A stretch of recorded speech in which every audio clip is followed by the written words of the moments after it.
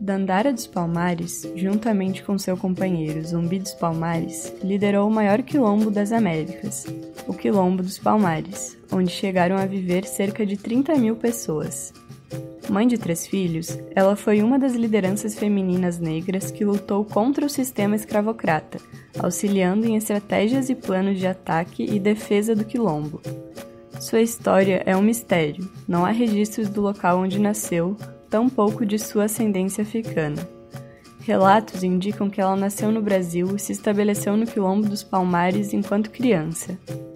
Valente, Dandara sempre lutou pela emancipação de seu povo escravizado. Para defender o quilombo, pegava em armas liderando forças femininas e masculinas que atuavam na defesa do quilombo contra os ataques portugueses. Dandara teve um fim trágico, porém honroso.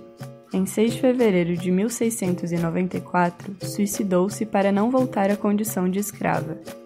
Dandara é um símbolo da resistência à escravidão e é reconhecida oficialmente como heroína da pátria.